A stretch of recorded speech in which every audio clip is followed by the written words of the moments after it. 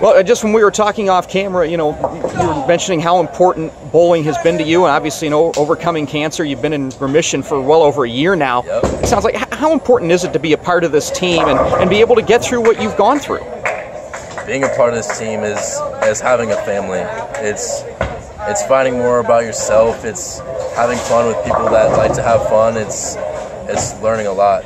Um, so through four years, being a part of this team, even though for one year I couldn't bowl, still having them there, it means it means the world.